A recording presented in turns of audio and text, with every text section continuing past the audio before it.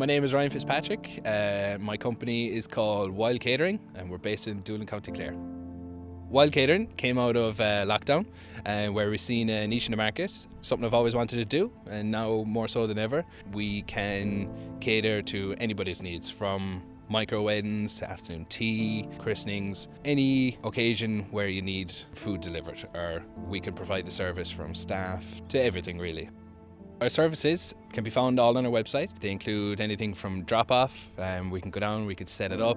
It's fairly convenient for people, you know, they don't have to worry about clean up or anything like that, where we can just go into their house nice and discreetly, set it up, and then we can leave.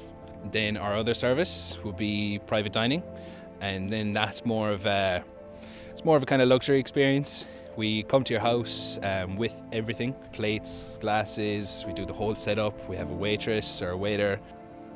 We do anything from buffets to we have a selection of artisanal platters from uh, seafood to charcuterie and vegetarian platters, and they have been extremely popular. We grow some of our own veg during the summer. We had loads grown. It's delivered straight to your door whenever you want it, seven days a week. And, and it's, yeah, it's, it's just the service from start to finish. It's, it's just easy. You just give me a call and then I bring down the food and I collect. You don't have to clean anything and then that's it.